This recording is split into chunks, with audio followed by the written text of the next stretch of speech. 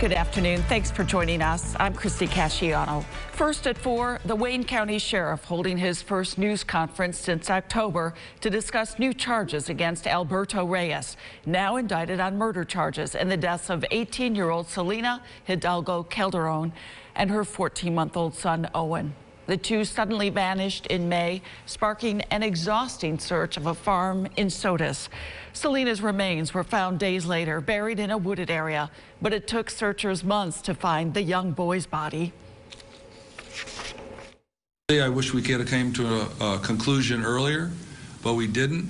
Uh, but the one thing that I want to say is, is the deputy sheriffs, the detectives, are, are again, our law enforcement uh, collaboration with all our partners. We didn't quit, we didn't give up, and we kept going after this.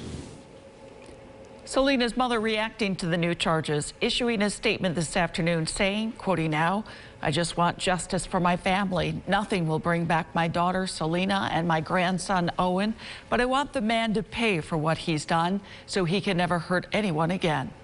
Reyes is being held without bail at the Wayne County Jail. Syracuse